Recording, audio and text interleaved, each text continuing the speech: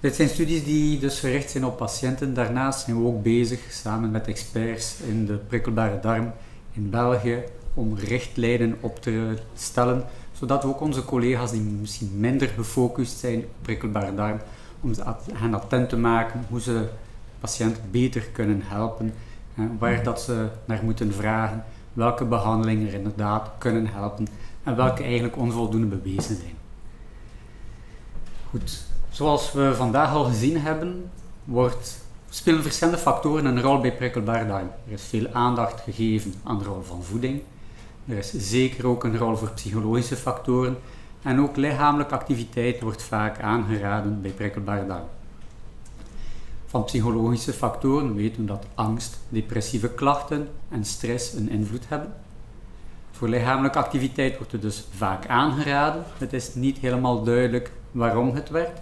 Onderzoek daarin is eigenlijk beperkt. Naar voeding weten we dat bepaalde uh, diëten, zoals het laagfotmap-dieet, helpen.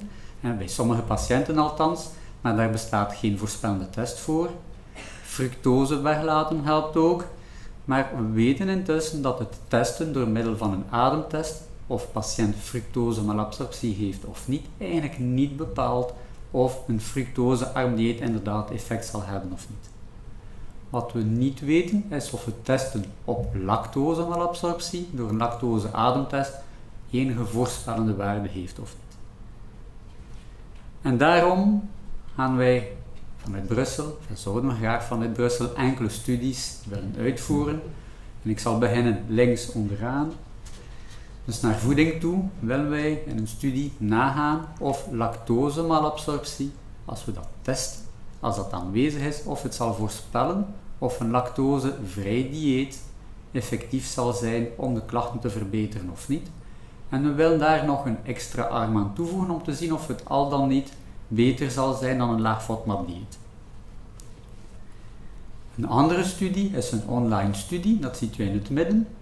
Die studie heeft tot doel om wat meer informatie te verzamelen bij prikkelbaar darmsyndroompatiënten, maar ook bij gezonde personen die geen prikkelbare darmen hebben, om informatie te hebben over de voeding die ze innemen, over de lichamelijke activiteit die ze uitvoeren en over een aantal psychologische factoren, om de verschillen die daarin bestaan te kunnen onderscheiden, om misschien meer gericht onderzoek daar dan in de toekomst op te doen.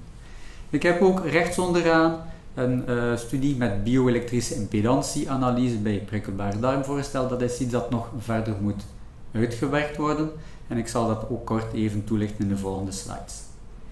Dat is een moeilijke slide dit hier. En dit is die studie rond de rol van lactose uh, ademtest. De bedoeling zou zijn, zoals u kan zien, na bevestiging dat de patiënt in aanmerking komt, dat hij gewoon even zijn dieet kan noteren, zijn klachten zal kunnen opvolgen en dan zal iedereen een lactosevrij dieet volgen. Uh, en ja, indien dat het effect heeft, is er de mogelijkheid om nog verder te doen. We willen weten hoe de klachten evolueren, dus logisch, we zullen de klachten op verschillende momenten voor de behandeling met het lactosevrij dieet, tijdens de behandeling met lactosevrij dieet gaan opmeten. En we zullen bij iedereen uiteraard een lactose-ademtest uitvoeren, maar het resultaat ervan blijft onbekend tot op het einde van de studie. We willen immers weten, als we de resultaten hebben, wat is het effect geweest van het dieet, dan kijken wij terug naar het resultaat van de lactose-ademtest om uit te maken of het bepalend is voor het effect van een dieet of niet. We meten dan nog een aantal andere factoren, zoals kwaliteit van leven en natuurlijk hoe is dat dieet ervaren geweest door onze patiënten.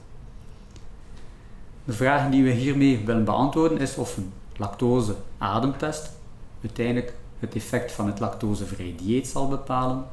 We willen ook inzicht hebben hoe de klachten evolueren tijdens het lactosevrij dieet, hoe de levenskwaliteit onder het dieet evolueert en of er uiteindelijk misschien effecten van lactosevrij dieet zouden ontstaan door een vermindering van de FODMAPs. Er is een extra arm hè, in deze studie, patiënten die niet zouden kunnen instappen in lactosevrij dieet, omdat we daar verwachten dat er veel meer van deze patiënten zullen zien dan we kunnen toelaten, krijgen de mogelijkheid om in de plaats van een lactosevrij dieet een laag FODMAP dieet te volgen, waarbij we eigenlijk voor de rest exact hetzelfde gaan uitvoeren. Hiermee hopen wij de vraag te beantwoorden of het laag FODMAP dieet het uiteindelijk beter doet dan het, fructose, uh, dan het lactosearm dieet. En ook gaan we hier opnieuw kunnen kijken of het aantal FODMAPs vermindert en vergelijkt met wat het effect was van het lactosevrij dieet daarop. De volgende studie is een online studie en dat zal dus verschillende gegevens verzamelen. We willen ons niet beperken tot prikkelbaar darmsyndroompatiënten, maar ook andere uh, personen die uh, geen prikkelbaar darm hebben, om inzicht te hebben in verschillende factoren, psychologische factoren, lichamelijke activiteit en ook FODMAPs. Eigenlijk is de hoofdbedoeling van deze studie inzicht te krijgen daarin, maar ook om een vragenlijst die we ontwikkeld hebben te toetsen of dit een goede weerspiegeling is van het dieet. Daarvoor zullen we tijdens de studie de vragenlijst aanbieden en ook een voedingsdagboek dat ons toelaat om toch gedurende meerdere dagen per week eh, te weten wat er gegeten is geweest en om te zien dus of we op basis daarvan door een eenvoudige manier een vragenlijst en uh, voldoende inzicht hebben in een aantal uh, FODMAP intake, maar ook calorieën, proteïnen en dergelijke vezels intake. Andere vraag die beantwoord wordt is wat de verschillen zijn tussen prikkelbaar darmsyndroom patiënten en andere individuen uh, in de voeding, psychologische factoren en lichamelijke activiteit. Als laatste hebben we dus willen we een pilootstudie, een verkende studie initiëren, een beetje rond het idee van sport, dat is gezond, het helpt bij prikkelbaar darmsyndroom, dat staat toch in alle richtlijnen. Het geeft een gunstige invloed op darmbacteriën, daar is onderzoek naar uitgevoerd.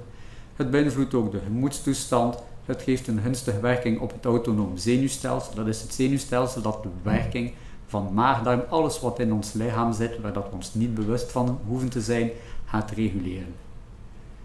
Effect van sport wordt op dit moment door verschillende manieren gemeten, vragenlijsten, inspanningsproeven, hartmetingen, maar dat zijn vaak tijdrovende onderzoeken die ook duur zijn. En daarom hopen we dat we toch enig inzicht krijgen of we door een eenvoudige methode, de bioelektrische impedantieanalyse, dat is een van de toestanden die daarvoor bestaan, of we meer informatie kunnen hebben en dit kunnen vergelijken met de voeding die, of de sportactiviteit eh, die uitgevoerd wordt. Dit duurt in feite maar een paar minuutjes in vergelijking met andere zaken. En het is ook voor de patiënt, als het in de toekomst kan uitgerold worden, ook een heel, heel goedkoop onderzoek. Dus doelstelling hier is om verschillen te meten tussen patiënten met prikkelbare darm en gezonde personen en dan ook een verband te zoeken met lichamelijke activiteit, voeding, een aantal hartparameters. Maar dit wordt verder uitgewerkt. Zoals ook aangegeven door Kathleen, zal er straks wat informatie daarover te verkrijgen zijn aan de, uh, aan de stand. Het zal uh, ook vermeld worden op de website en hier vindt u alvast enkele gegevens van onze uh, groep die daarmee bezig is en dit is ook te verkrijgen op een apart blaadje aan de stand bij Kathleen straks. Voilà. Dit was uh, de voorstelling van een aantal studies die we aan UZ Brussel opstarten of opgestart hebben.